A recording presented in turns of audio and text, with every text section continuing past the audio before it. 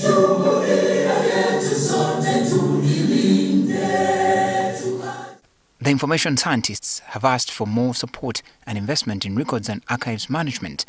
They spoke at a symposium held at the East Africa School of Library and Information Science held at Makerere University.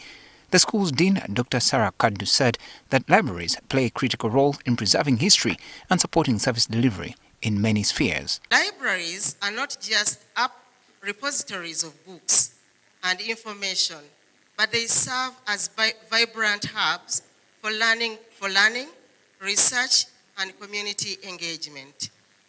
Former Dean of the school, Professor Constant Okello Obura, emphasized the need to have the information sciences curriculum match the current digital trends. Look at it and you say, have they really covered digital preservation?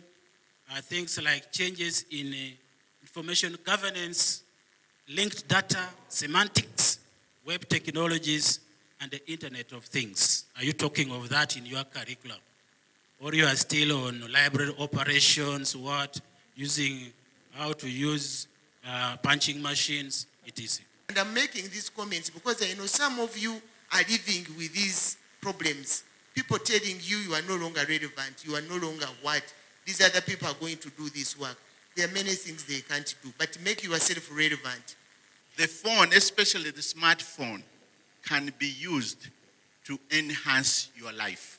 The Director of Quality Assurance at Makerere University, Cyprian Misinde, said the school has registered several achievements, including digitization of the institution's records. Good records management not only helps protect records, but also enhances organizations' operational efficiency. The Minister for Public Service, Wilson Muruli Mukasa, told the librarians about the importance of records management and archiving in the country's development. So we are still critical, we are still central. But the key is innovate and move with the times.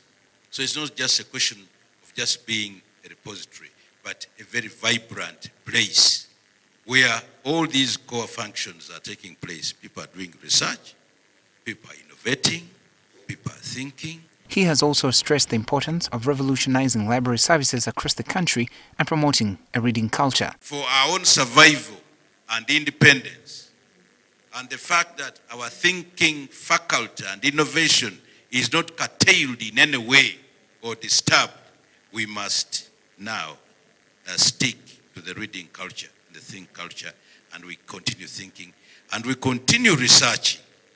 It's very important. Benjamin Jumbe, NTV. It is easily at 6